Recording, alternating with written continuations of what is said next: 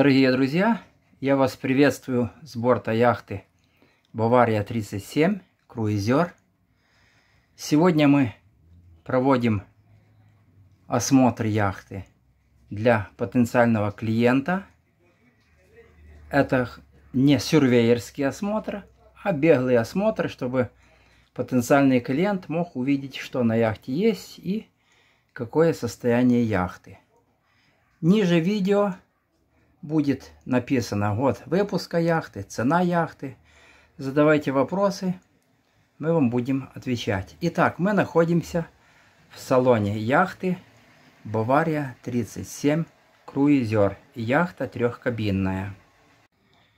Яхту не готовили специально к нашему приходу, не накрашивали губки, не полировали, не мыли. Вот как мы яхту сегодня застали здесь, пришли. Вот такое состояние мы и фотографируем, и снимаем видео. Итак, мы находимся в салоне.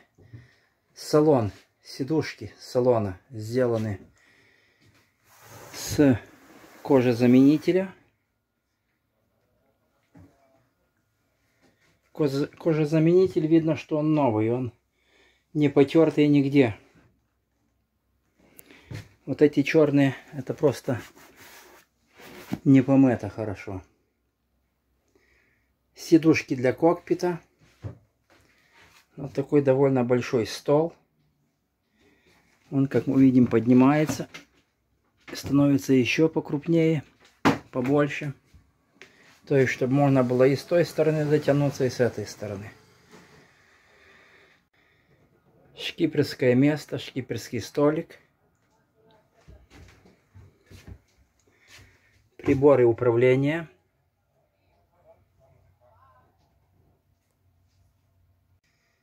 VHF радиостанция фирмы Раймарин.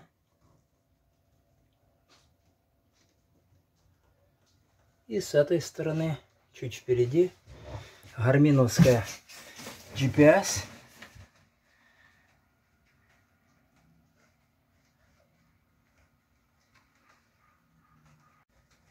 Открываем шкиперский стол. Брик Water Pilot. Компас, карты, параллельная линейка, циркуль. Закрываем. Различные рундучки, которые присутствуют на яхте. Видите, здесь запасные различные части.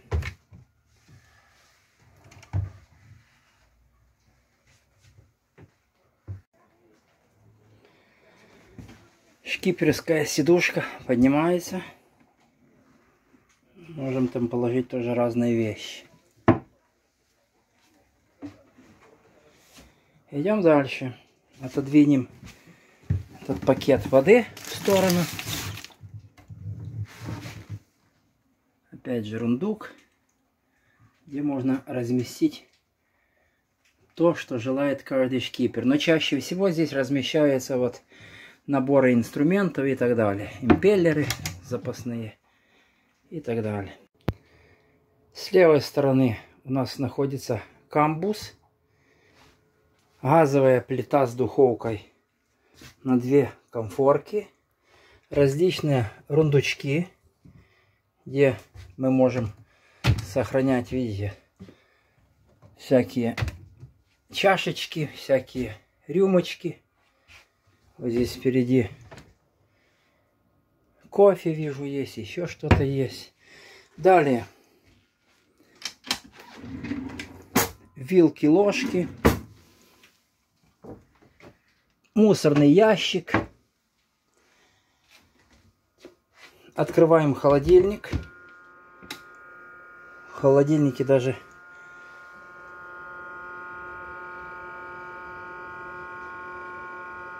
есть разные продукты питания. Закрываем холодильник.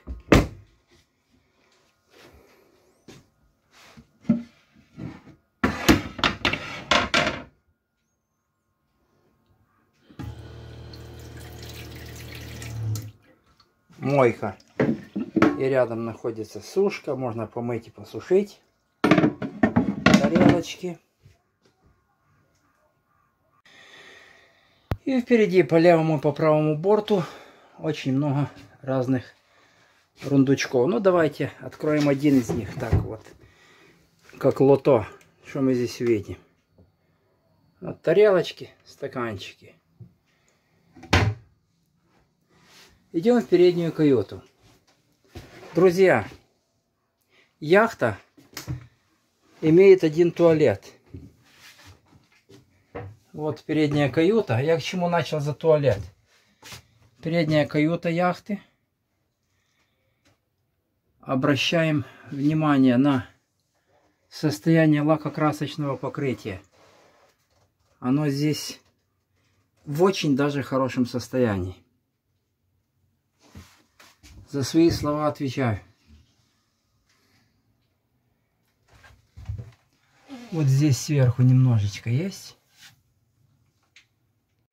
Открыли шкафчик, полочки для одежды. Опять же, состояние лакокрасочных изделий, покрытие, вернее, идеальное.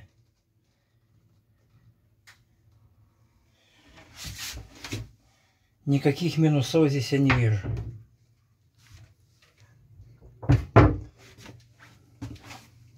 Дверь в салон.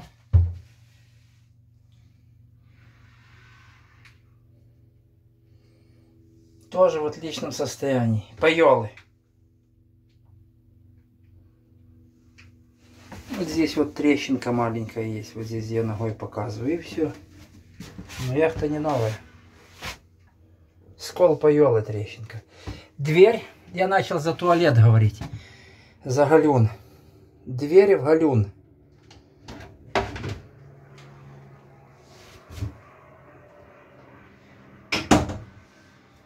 Унитаз откачка ручная. Джапско система.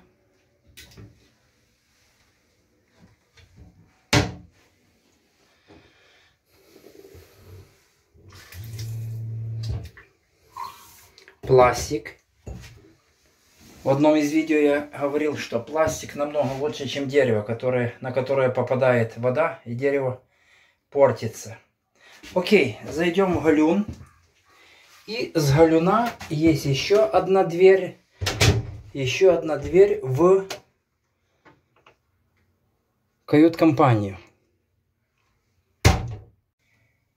В некоторых местах есть облизание немножко такое, знаете, как от облущивания лака. Это как раз те места, которые подтверждают мои слова. Где при попадает вода с душа, с распылителя. И лак, лак отслаивается. Ну, вот такая картинка. Зеркала все в очень хорошем состоянии.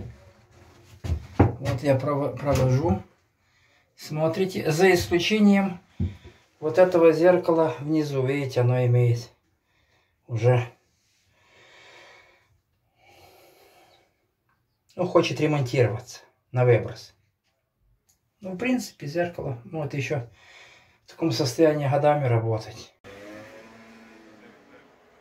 Теперь, друзья, посмотрим задние каюты, машинное отделение и состояние под паёлами. Затем пойдем наверх. Итак, каюта кормовая по правому борту. Заходим в эту каюту, смотрим. Немножко темновато, но как есть. Каюта по ширине очень даже неплохая. Вот я захожу в полный рост в каюту при моем росте метр восемьдесят. Но, естественно, оно ниже, чем на яхтах, которые большего размера. Один иллюминатор сбоку. И один иллюминатор над моей головой. Смотрим состояние мебели.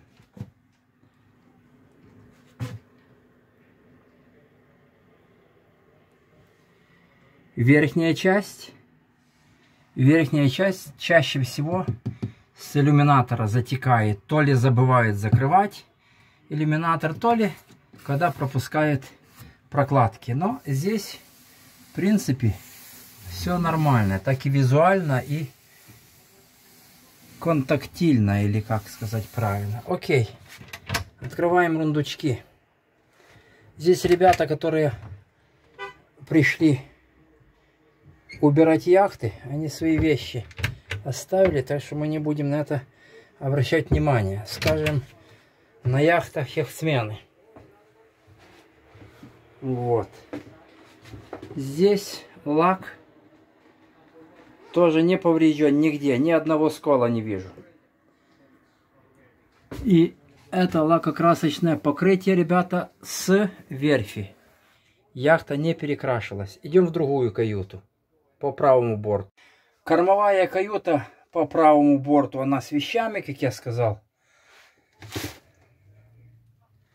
Занавесочку отодвинем. Иллюминаторы Левмар.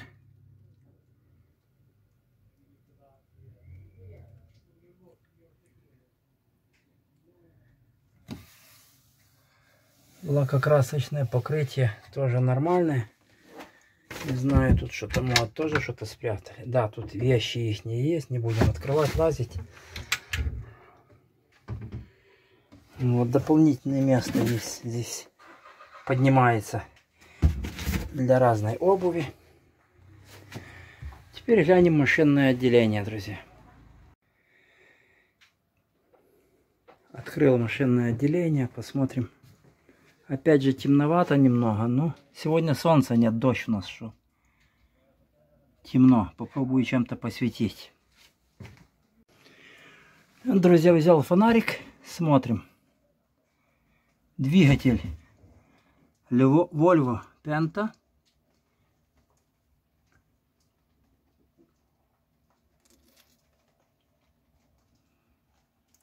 Под двигателем сухо. Двигатель трехцилиндровый.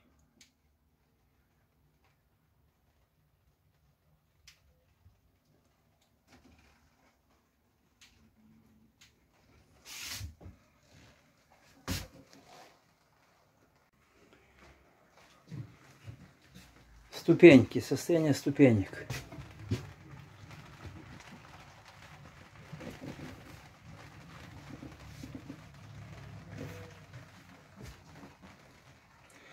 Коль мы закрыли крышку, смотрим ступеньки и поднимаем пайолы.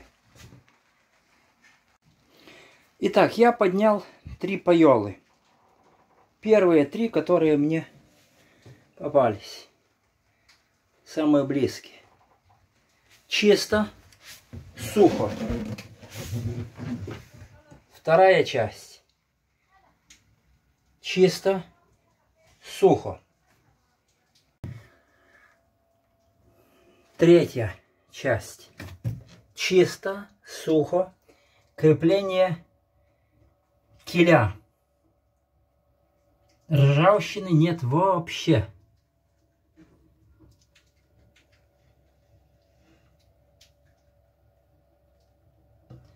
Так, вот. Посмотрели подпаёльное пространство в трех местах.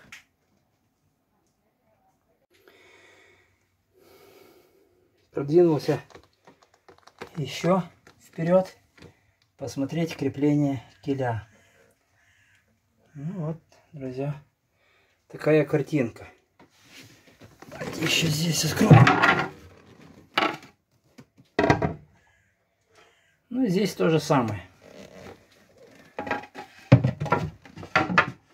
Так что можно сказать, что подпоёльное пространство в этой яхте в очень и очень хорошем состоянии. Я даже, честно говоря, не думал, что будет все так, как есть. Теперь идем наверх. Попадаем в кокпит. Кокпит тиковый. Посмотрим состояние тика. Состояние хорошее, комментировать даже не буду реальное хорошее состояние тика. как на сидушках, так и на протоптышах. Заодно вы увидели динамики.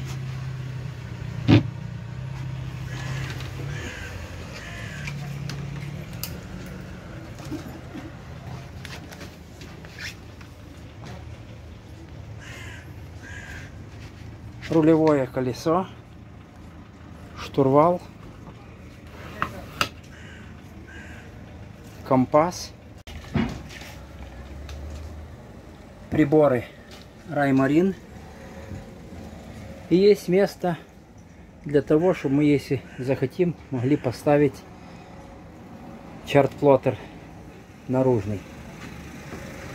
Четыре лебедки.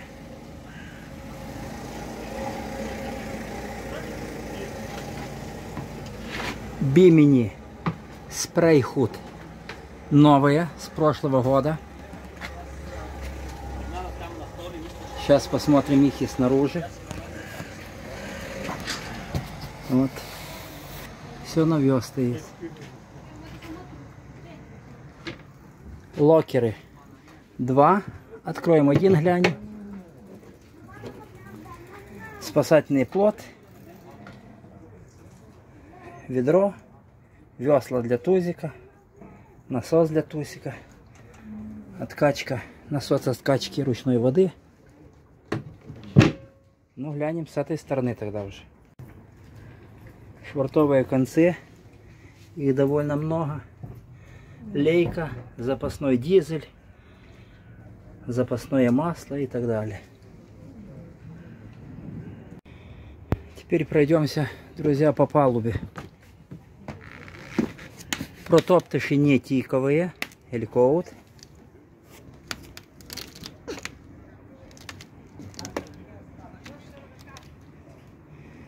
Повторяю, яхта 37 футов длиной.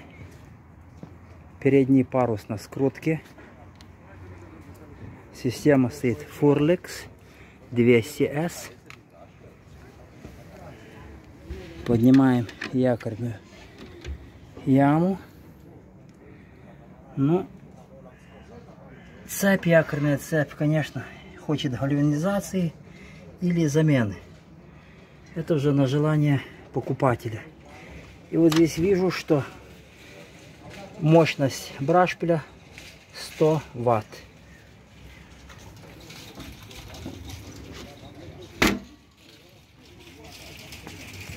Реллинги впереди не побитые, не поломанные. Якорь тоже в нормальном состоянии.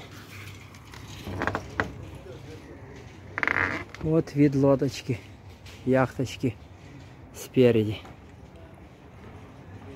Радара яхта не имеет. Главный парус на скрутке тоже. Стоят паруса фирмы DL. Очень хорошая фирма, кстати. Очень выполняет качественную работу. Вот, друзья, мы провели маленький обзор, осмотр яхты Бавария 37, которая продается. Задавайте вопросы. Кому интересно, будем общаться. Всего-всего хорошего.